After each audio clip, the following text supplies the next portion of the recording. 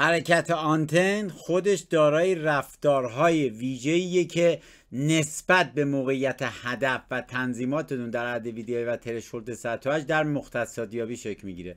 فلزیاب و یابنده های فرکانسی آنتنی که عرض ویدیوی ترشولد سطح داره هر نوع حرکت آنتنش یک مفهوم و معنا داره که در مختصاتیابی علمیش همه موضوعات بیان شده. یه اپراتور در صحنه اصلی کار با یه فلزیاب و یابنده آنتنی فرکانسی که از ویدیو ترشولد 108 داره باید تمام رفتارها و نوع حرکت آنتن و واکنش هاشو طبق دستورالعمل های صحیح چه در زمان تمرینش چه تستش چه در صحنه اصلی کار در نظر بگیره تا در اصول مختصاتیابی بتونه به صورت ویژه ازلا دیوارهای خارجی داخلی مقابل هدف و در نتیجه مرکز هدف رو به خوبی تشخیص بده. به خصوص در صحنه اصلی کار که فلزات دیامغناطیس مانند طلا و نقره اطراف خودشون رو شبیه خودشون می‌کنن و شرایط اندازه های دیواره هدف نوع عدد ویدیوهای و ترشولد سطح و حج و روش مختصاتیابی باید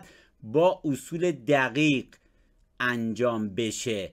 تا مرکز هدف اصلیتون به خصوص طلا و نقره رو بتونید تشخیص بدید. اگر اپراتور خطا بکنه نمی‌تونه تو صحنه اصلی کار مرکز هدف اصلی به خصوص طلا و نقره رو پیدا کنه.